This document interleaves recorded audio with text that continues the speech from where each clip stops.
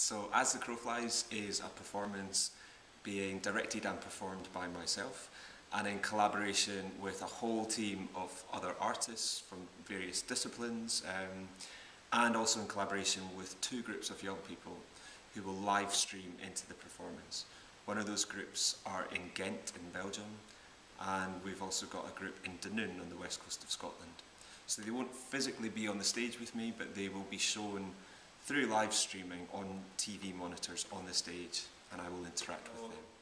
In many ways, um, I'm thinking about the performance as being an exploded concert. Um, it's almost as if we all started off in the same space, performing music, singing songs together, and then somehow we've ended up in different countries, speaking different languages, and all the instruments have been split up as well. So we're using the digital technology to reconnect us back together.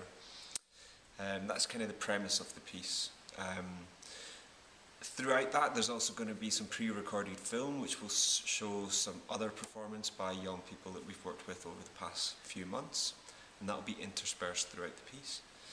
Uh, there's going to be live cello music. That's my music. That's my instrument, and I usually do perform with my cello, but I'm always very interested in performing it in a very physical and visual way.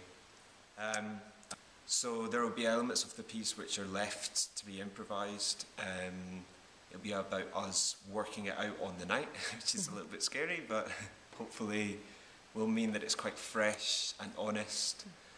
And I suppose that's one of the main reasons why I like working with young people is because their sense of being in the moment when they're working out how to perform can be really exciting and vibrant. So it's about trying to capture that and not altering it too much and putting it on the stage.